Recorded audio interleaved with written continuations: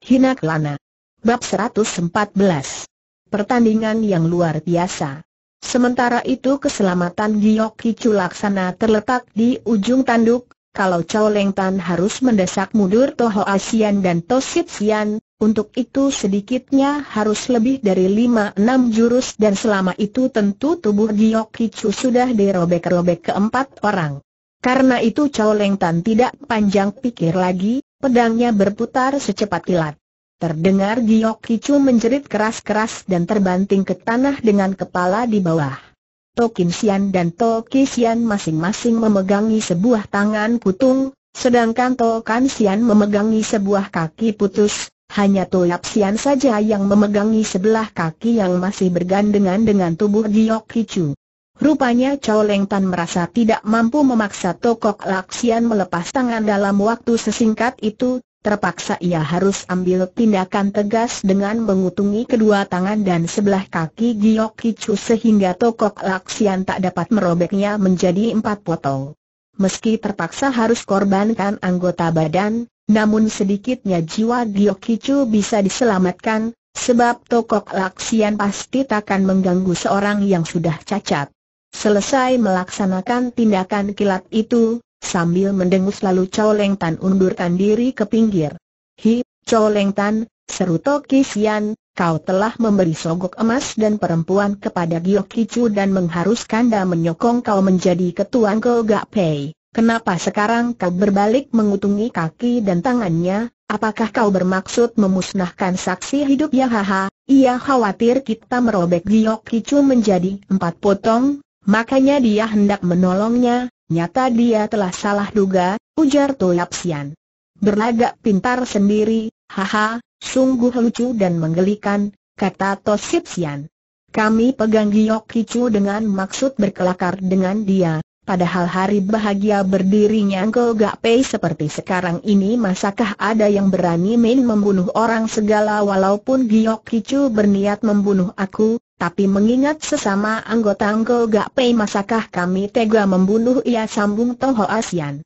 Kami hanya menakut-nakuti dia saja dengan melemparkan dia ke udara, lalu kami tangkap dia kembali.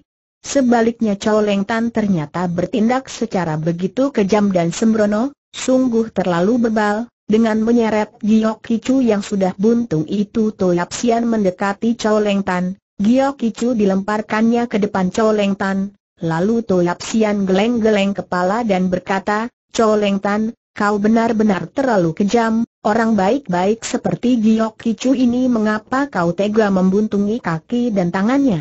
Sekarang dia hanya punya satu kaki saja, lalu care bagaimana dia akan hidup? Tentu saja Chow Leng Tan sangat gemas, padahal kalau dia tadi tidak ambil tindakan tegas, Tentu tubuh Giok Kicu sudah tersobek menjadi empat potong dan jiwanya sudah melayang, sekarang malahan dirinya yang dianggap kejam.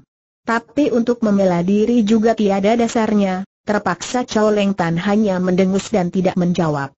Melihat Chow Leng Tan diam saja, segera Tokin Sian menyambung, kalau Chow Leng Tan mau bunuh Giok Kicu mestinya sekali tebas kutungi saja kepalanya, tapi dia justru ingin menyiksanya dengan membuntungi tangan dan kakinya sehingga Giok Kicu tidak mati dan setengah hidup, caranya sungguh keji dan tak berbudi, memang, kita sama-sama anggota Angko Gak Pei, ada persoalan apa pun dapat dirunding secara baik-baik, mengapa mesti pakai care sekejam ini?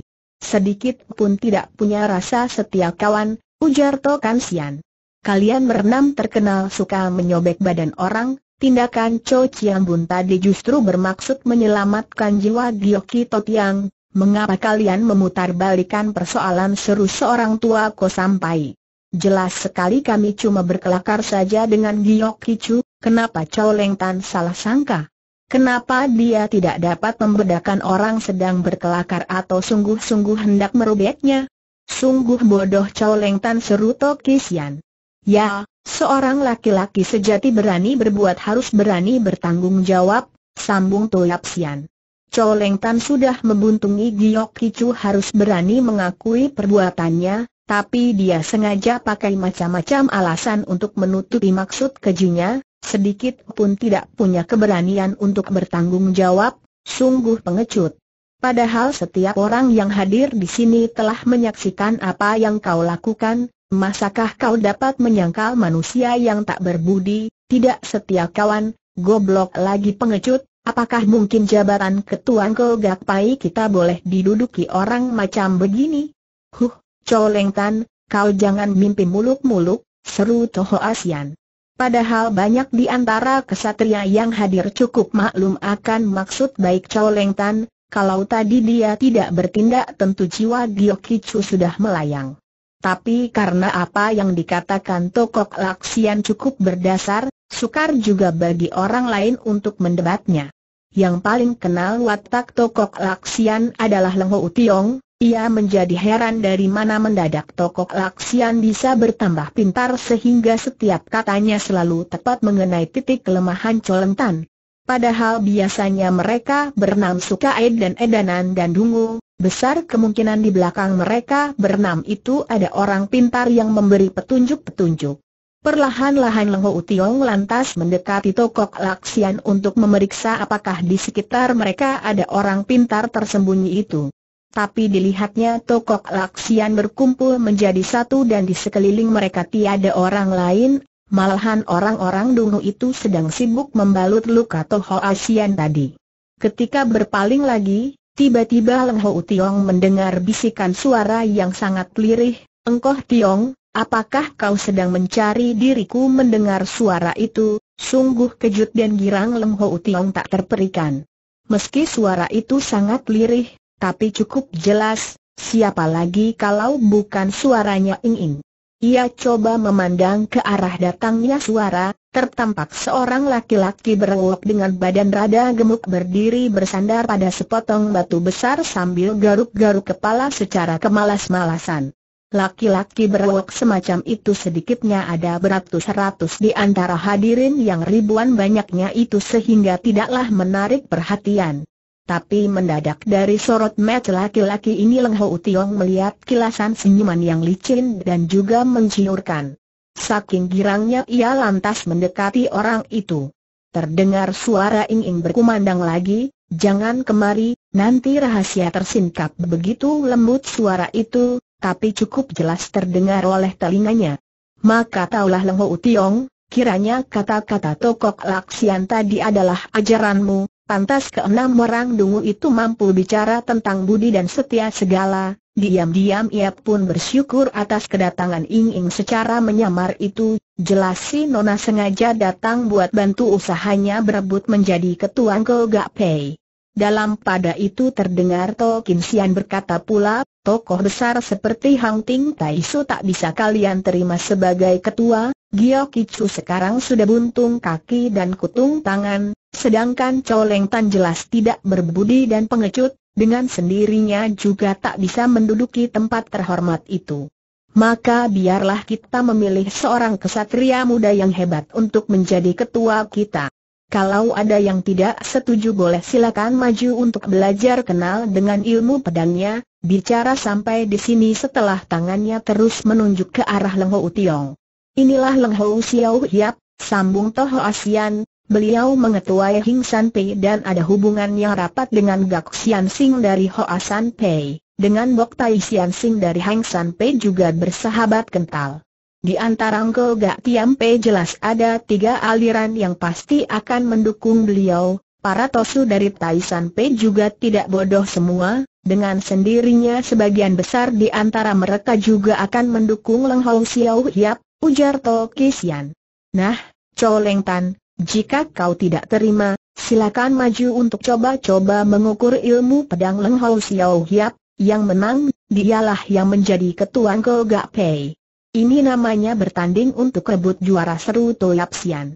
Di antara para pengunjung sebenarnya lebih banyak orang-orang yang ingin menonton keributan, untuk itu mereka tentunya tidak suka pada perdebatan yang bertele-tele seperti Tokok Laksian tadi, soalnya ucapan-ucapan Tokok Laksian tadi memang jenaka dan menggelikan, makanya mereka masih dapat mengikutinya dengan tertawa. Tapi sekarang demi mendengar Toyapsian mengemukakan bertanding untuk kedudukan ketua serentak bergemuruhlah suara sorak-sorai setuju, karena mereka tahu akan sampailah saatnya pertandingan sengit di antara tokoh-tokoh tertinggi yang dijagoi oleh masing-masing pihak. Namun Leng Hou Tiong berpikir, aku telah berjanji kepada Hang Ting Tai Su dan Tiong Hai Tot yang untuk merintangi keinginan Chow Leng Tan menjadi ketua Go Gak Pei. Maka bila suhu saja yang menjadi ketua, beliau yang terkenal baik budi dan bijaksana tentu akan dapat disetujui oleh semua pihak. Padahal selain beliau rasanya juga tiada tokoh lain di antara Go Gak Tiam Pei yang sesuai untuk menjabat kedudukan penting ini, karena pikiran demikian, segera Leng Ho Tiong berseru, di hadapan kita sudah tersedia seorang tokoh yang paling cocok untuk menjadi ketua Go Gak Pei. Mengapa kalian lupa semua? Siapa lagi calon di antara kita yang bisa menandingi Kun Chu Kiam Gak Sian Sing dari Hoa San Pei? Ilmu silat Gak Sian Sing tinggi, pengetahuannya luas, orangnya berbudi dan bijaksana, kesemuanya ini telah cukup kita ketahui. Maka segenap anggota Hing San Pei kami dengan tulus ikhlas menyarankan pengangkatan Gak Sian Sing sebagai ketua Ngogak Pei. Serentak anak murid Hoa San Pei bersorak gembira dan menyatakan akur. Seorang tokoh Kosan Pei lantas bicara, ilmu silat Gak Sian Sing memang tinggi, tapi kalau dibandingkan Cho Chiang Bun masih selisih setingkat maka menurut pendapatku adalah Cho Chiang Bun yang lebih tepat untuk menjadi ketua, di samping itu boleh diadakan empat kursi wakil ketua dan masing-masing dijabat oleh Gak Xian Sing, Bok Tai Xian Sing, Leng Hou Xiao Hiap dan, dan Giok Seng Chu atau Giok In Chu Totiang, terserah kepada pilihan orang Tai San Pei sendiri. Gio Kicu kan belum lagi mampus dia baru buntung tangannya dan kutung sebelah kakinya, mengapa kalian lantas menyingkirkan dia seru Tokisian? Ya, bertanding saja untuk berebut menjadi juara, siapa yang menang, dia yang menjadi ketua teriak Toyap Sian.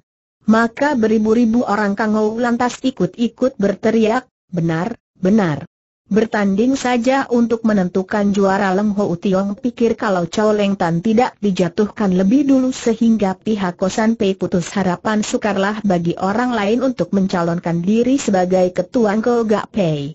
Maka dengan pedang terhunus ia lantas maju ke tengah, serunya, Chow Sian Sing, sesuai kehendak orang banyak, marilah kita berdua mulai coba-coba dahulu, menurut perhitungan Leng Ho Tiong, Ilmu pedang sendirinya masih sanggup mengatasi lawan, tapi kalau bertanding pukulan, maka dirinya sukar melawan Im Hon Chiang Lik, pukulan dengan hawa dingin, coleng tan yang liai, hal ini terbukti Yim Go Heng saja kecundang di Xiao Lim Si tempo hari. Seumpama ilmu pedang sendiri juga tak bisa mengalahkan lawan, paling sedikit tenaga lawan akan banyak diperas, Habis itu Gak Put Kun baru turun kalangan dan tentu besar harapan untuk merobohkan Coleng Tan. Begitulah segera Leng Hou Tiong ayun pedangnya dan berseru pula, Chow Sian Sing, setiap anggota Angko Gakiam Pei kita mahir memainkan pedang, biarlah kita menentukan kalah menang pada senjata ini dengan ucapan ini ia sudah mendahului menutup jalan mundur Coleng Tan agar ketua Kosan Pei itu tidak mengajaknya bertanding ilmu pukulan dan lain-lain. Maka ramailah orang bersorak menyatakan setuju dan berteriak-teriak minta pertandingan lekas dimulai. Karena suara sendiri disokong orang banyak, dengan senang Leng Ho Tiong berseru pula, Chow Sian Sing, hayolah maju. Jika kau enggan bertanding pedang dengan Cai He, ya boleh juga, silakan mengumumkan di depan umum bahwa kau mengundurkan diri dari pencalonan ketua Go Gak Pei ini hayo maju. Hayo bertanding demikian orang banyak berteriak-teriak pula. Yang tidak berani bertanding bukanlah kesatria. Tapi, babi. Anjing demikian sambung yang lain.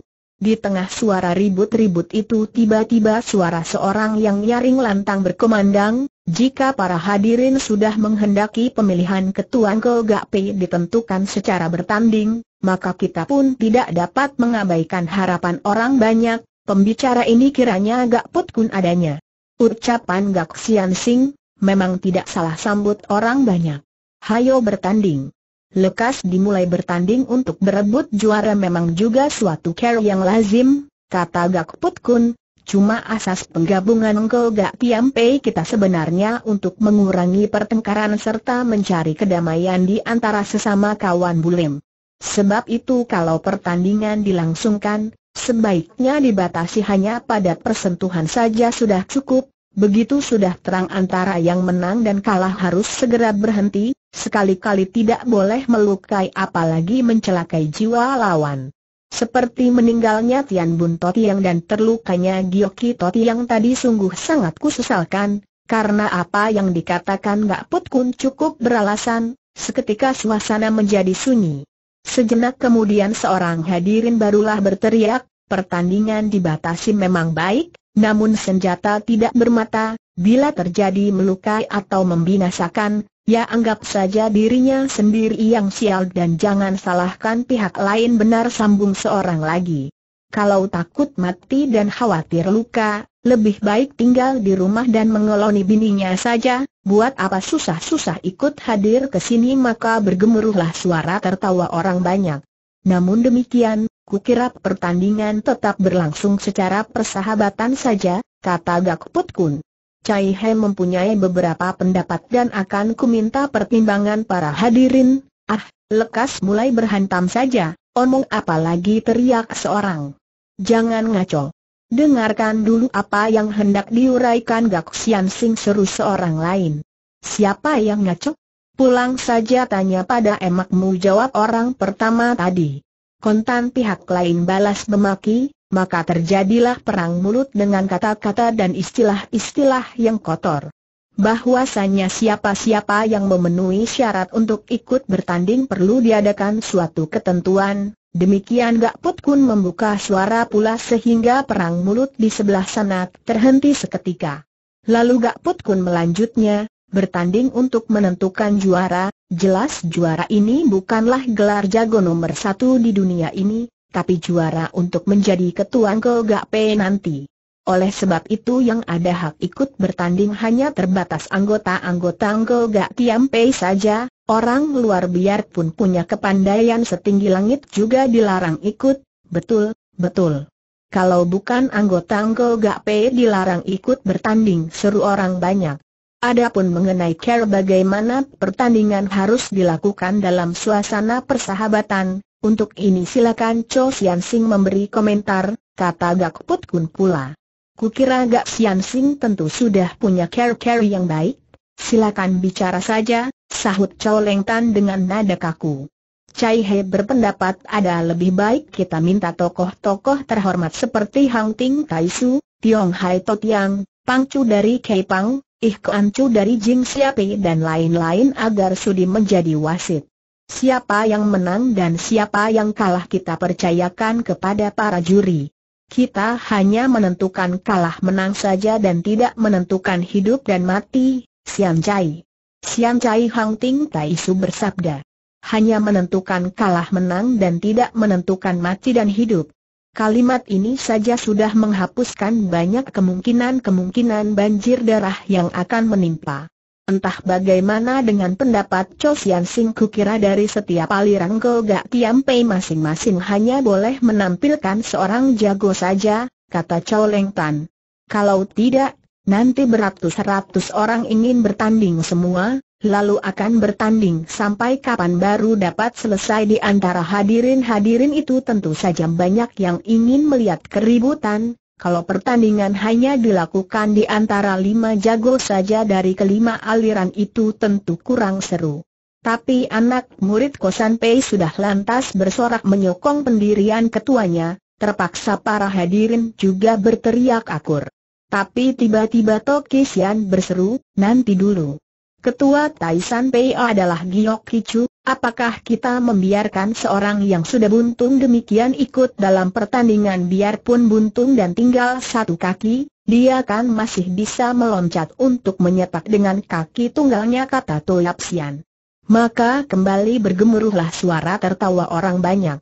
Giok Incu dari Taisan Pei menjadi gusar, teriaknya, kalian berenam setan alas inilah yang membuat cacat suhengku, sekarang kalian mengolok-olok beliau pula. Kukira kalian sepantasnya juga dibikin buntung semua. Hayolah, kalau berani coba maju untuk bertanding dengan Tuanmu habis berkata ia terus tampil ke muka dengan pedang terhunus. Apakah kau mewakili Taisan Pei dalam perebutan juara ini? Tanya Toki Sian. Kau dipilih oleh kawan-kawanmu ataukah sendiri yang tampil ke muka Toyap Sian menambahkan. Peduli apa dengan kasahut Giok Incu dengan gusar? Tentu saja peduli, jawab Toyap Sian. Tidak saja peduli, bahkan sangat peduli.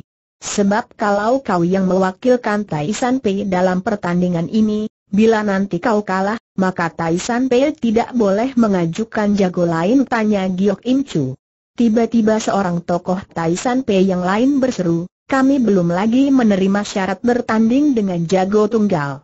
Kalau Giok Im Sute kalah, dengan sendirinya Taisan Pei masih boleh mengajukan jago pilihan lain, Pembicara ini ialah Giok Senchu, Suheng Giok Incu. Haha, jago Taisan Pei yang lain mungkin adalah saudara sendiri kata Toho Asian setengah mengejek. Benar, memangnya adalah kakekmu ini, jawab Giok Senchu ketus. Nah nah, coba lihatlah, para hadirin. Kembali orang-orang Taisan Pei ribut urusan dalam lagi seru Tosik Sian. Baru saja Tian Bun Tojin tewas, kemudian Giok Kicu terluka parah, sekarang Giok Sencu dan Giok Incu ini sudah saling bertengkar dan berebut menjadi pemimpin Taisan Pei. Ucapan Tosit Sian sebenarnya tepat mengenai isi hati Giok Sencu dan Giok Incu. Tapi Giok Incu pura-pura mengomel, hektometer, ngaco belo sebaliknya Giok Sencu hanya tertawa dingin saja tanpa bicara. Sebenarnya pihak Tai San Pei akan diwakili oleh siapa dalam pertandingan ini? Tanya Toho Asian pula. Aku seru Giok Incu dan Giok Sencu berbareng. Aneh, kenapa kalian tidak mau saling mengalah ujar To Kinsian? Baiklah, boleh kalian saling gebrak lebih dulu, coba siapa yang lebih tangguh. Percuma bertengkar dengan mulut, tentukan saja dengan berkelahi dengan asaran Giok Sencu melangkah maju dan berseru kepada Giok Incu, Sute, kau mundur saja, jangan menimbulkan tertawaan orang lain kenapa akan ditertawakan orang jawab Giok Incu. Giok Suheng terluka parah, adalah pantas jikalau aku ingin menuntut balas baginya, tujuanmu hendak menuntut balas atau ingin berebut menjadi juara Giok Sencu menegas. Hah, hanya dengan sedikit kepandaian kita saja masakah sesuai untuk menjadi ketua Gak Pe Jengek Giok Incu. Kukira kau jangan mimpi di siang bolong. Segenap anggota Taisan Pei kita sudah jelas mendukung Cho Chiang Bun dari Kosan Pei sebagai calon ketua, buat apa kita berdua ikut-ikut membuat malu di depan umum jika demikian silakan kau mundur saja. Sebagai tertua, pimpinan Taisan Pei sekarang kupegang, kata Giok Sencu. Meski kau terhitung tertua di antara orang Taisan Pei sekarang, tapi segala perbuatanmu dan tingkah lakumu selama ini sukarlah diterima orang. Apakah kau kira anggota-anggota Taisan Pei kita mau tunduk kepada pimpinanmu? Tanya Giok Incu. Apa artinya dengan ucapanmu ini bentak Giok Sencu dengan bengis? Kau berani kepada orang yang lebih tua, apakah kau lupa pada pasal pertama dari undang-undang perguruan kita? Haha, janganlah kau lupa bahwa saat ini kita adalah sama-sama anggota Engko Gak Pei, jawab Giok Incu. Kita masuk Engko Gak Pei pada hari, bulan, tahun dan saat yang sama, berdasar apa kau anggap kau lebih tua dariku? Undang-undang perguruan Ngo Gak Pei belum lagi disusun, Berdasar apa kau tunjuk pasal satu dan pasal berapa segala? Sedikit-sedikit kasuka tonjolkan undang-undang perguruan Taisan Pei untuk menindas kawan sendiri, cuma sayang sekarang Taisan Pei sudah hapus, yang ada hanya Go Gak Pei. Giok Seng Chu tak bisa mendebat lagi, saking gusarnya dia hanya berjingkrak sambil tuding Giok Incu dan berkata, kau, kau, kau, hayolah maju, labrak saja. Kenapa omong doang? Habis berhantam baru jelas siapa yang tertua teriak para penonton yang ingin lihat perkelahian. Hayo, Bai Giok Im, seratus perak seru seorang penonton. Apit, pegang bawah seorang lagi menanggapi dengan lagak seorang botoh jago. Lima belasan, pegang atas yang duluan menanggapi lagi. Menurut istilah adu jago, ayam jantan, baik artinya memihak, memegang pihak yang dipilih. Apit artinya jumlah taruhan dua lawan satu, seratus perak lawan dua ratus perak. Lima belasan artinya lima belas lawan sepuluh. Begitulah jiwa manusia pada umumnya kalau melihat ada pertengkaran bukannya memisah, melerai, tapi malah menyirami minyak dan membakar. Tapi meski badan sampai gemetar saling gusar Giok Sencu tetap tidak berani maju. Kiranya Giok Sencu ini biarpun terhitung Seng Suheng, tapi biasanya dia suka tenggelam di tengah minuman keras dan main perempuan, sebab itulah ilmu pedangnya banyak mundur dan kalah kuat daripada Giok Incu. Dengan dileburnya Ngo Gak Tiam Pe menjadi Ngo Gak Pe memangnya Giok Sencu dan Giok Incu juga tidak berani mengimpikan buat ikut berebut menjadi ketua, sebab mereka sadar kepandaian mereka masih jauh dibandingkan Coleng Tan. Mereka sudah puas bila sekembalinya ke Taisan nanti dapat diangkat menjadi pemimpin Taisan Pei untuk menggantikan Tian Gun dan Gioki yang sudah tewas dan cacat itu. Tapi sekarang di bawah hasutan orang banyak mereka berdua sampai-sampai bertengkar sendiri, Giok Sencu tidak berani sembarangan bergebrak, cuma ia pun tidak rela menyerah kepada Seng Sute di depan umum. Karena itu seketika keadaan menjadi lucu tampaknya sekonyong-konyong suara seorang melengking tajam berkata, Huh, kulihat inti ilmu silat Taisan Pei sedikit pun belum kalian kuasai, tapi kulit muka kalian toh begitu tebal buat bertengkar di sini sehingga waktu penting terbuang percuma, waktu semua orang berpaling ke arah pembicara, kiranya seorang pemuda yang jangkung dan tampan, hanya saja air mukanya rada pucat, ialah Lim Pengci dari Hoa San Pei. Segera orang yang kenal dia lantas berseru, itulah menantu baru Gak Sian Sing dari Hoa San Pei Leng Ho Tiong juga terkesiap, ia tahu sifat Lim Pengci biasanya sangat pendiam, tidak suka banyak bicara, tak terduga sifatnya itu sekarang sudah berubah sehingga berani mengolok-olok orang di depan umum. Namun Leng Hou Tiong juga tidak suka kepada Giok Im Chu dan Giok Seng Chu yang bersama Giok Ki Chu tadi telah mengakibatkan kematian Tian Bun Tojin, maka ia pun merasa senang atas sindiran Lim Peng Chi terhadap kedua jago Taisan Pei itu. Terdengar Giok Im Chu menjawab, aku belum menguasai sama sekali inti ilmu silat Taisan Pei kami, memangnya saudara sendiri yang menguasai? Kalau begitu silakan saudara coba-coba mainkan beberapa jurus ilmu silat Taisan Pei agar dimaklumi oleh para kesatria yang hadir di sini. Berulang-ulang ia sengaja mengucapkan kata-kata Taisan Pei dengan suara keras, maksudnya hendak mengolok-olok Lim Peng yang dikenal sebagai murid Hoa San Pei masakah berani ikut bicara tentang ilmu silat dari perguruan lain. Tak terduga Pengci lantas menjengek, jawabnya, Ilmu silat Taisan Pei sangat luas dan dalam, mana bisa dipahami oleh murid murtad macam kau yang mencelakai saudara seperguruan sendiri dengan bersekongkol dengan orang luar, pengci bentak Gak Put Kun tiba-tiba. Giok Im Toti yang adalah kaum Ciampual, jangan kau kurang ajar terpaksa pengci mengiyakan dan berhenti bicara. Dengan gusar Giok Im Chu lantas berkata terhadap Gak Put Kun, Gak Sian Sing, Bagus sekali murid didikanmu dan mantu kesayanganmu ini. Sampai-sampai ilmu silat Taisan Pei berani dia sembarangan mengoceh dan menilainya, dari mana kau tahu dia sembarangan mengoceh tiba suara seorang perempuan menyela. Maka muncul ke depan seorang nyonya muda dengan gaun yang panjang, pada sanggulnya tersunting setangkai bunga merah dan kecil. Siapa lagi dia kalau bukan Gak Lengsian? Ini, dengan ilmu pedang Tai San Pei juga akan kucoba bagaimana kepandaianmu, kata Leng Xian pula sambil memegang gagang pedangnya yang melintang ke belakang punggungnya. Giok Im Chu mengenalnya sebagai anak perempuan Gak Put Kun, diketahui pula bahwa Gak Put Kun telah menyetujui peleburan Go Gak Tiam Pei dan cukup dihargai oleh Chow Leng Tan, maka terhadap Leng Xian ia tidak berani sembarangan bertindak kasar. Dengan tersenyum ia menjawab, ah, pada hari bahagia Nona Gak, sungguh menyesal aku tidak sempat hadir untuk menyampaikan selamat. Apakah karena itu Nona telah marah padaku? Tentang ilmu pedang Hoa San Pei kalian memang sangat kukagumi. Tapi bahwasanya murid Hoa San Pei juga mahir ilmu pedang Tai San Pei. Wah, sungguh baru kudengar sekarang ini, dengan menarik alisnya yang lentik, dengan air muka menghina Leng Xian berkata, ayahku ingin menjadi ketua Gak Pei. Dengan sendirinya setiap ilmu pedang dari kelima aliran harus dipelajarinya, kalau tidak care bagaimana beliau sanggup memimpin Gak Pei nanti ucapan Leng Xian ini seketika membuat para kesatria menjadi gempar.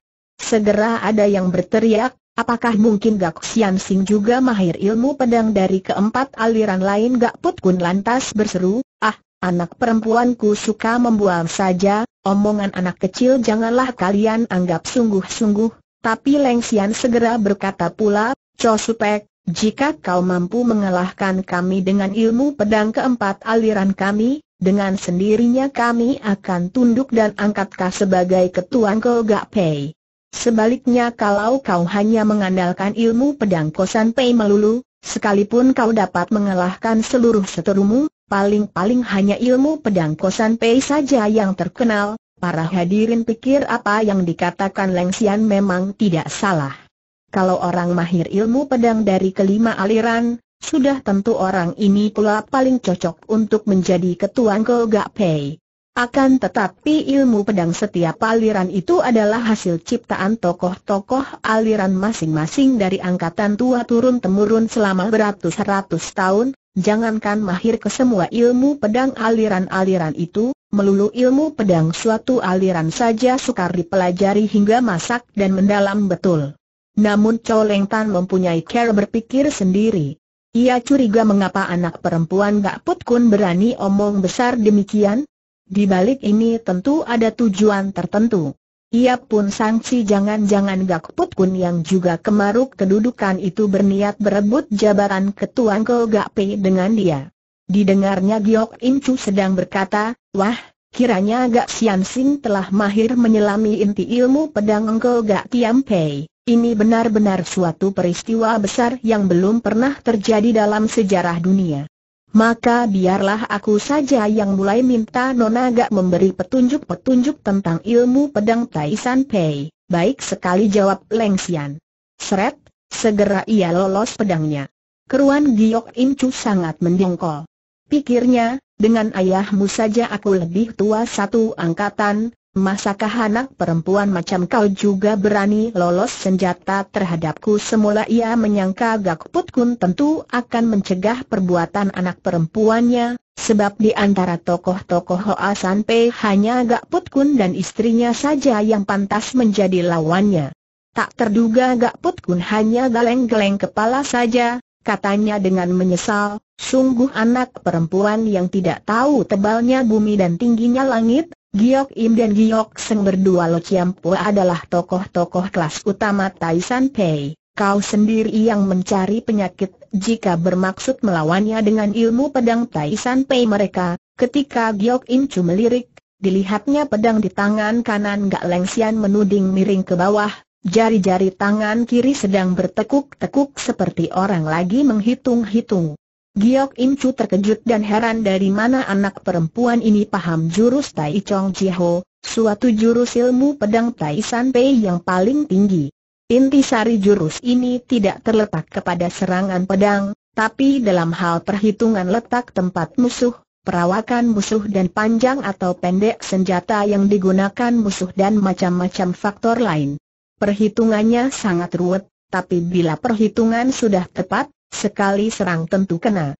Pernah Giok Im mendapat ajaran jurus ini dari gurunya, tapi ia sadar bahwa dirinya tidak sanggup menyelami jurus yang pakai perhitungan tinggi itu, maka waktu itu ia tidak pernah mempelajarinya dengan sungguh-sungguh, sebaliknya sang guru juga tidak paksa dia berlatih lebih lanjut, rupanya gurunya sendiri juga tidak mahir terhadap jurus itu. Karena dirinya tidak diharuskan berlatih jurus yang sukar itu, tentu saja Giok Im Chu merasa kebetulan. Sejak itu ia pun tidak pernah melihat orang Tai San Pei sendiri memainkan jurus itu. Tak terduga peristiwa yang sudah berselang puluhan tahun itu, kini mendadak jurus itu dilihatnya dimainkan oleh seorang nyonya muda sebagai Gak Lengsian, bahkan orang yang bukan anggota Tai San Pei. Keruan ia menjadi gelisah dan keluar keringat.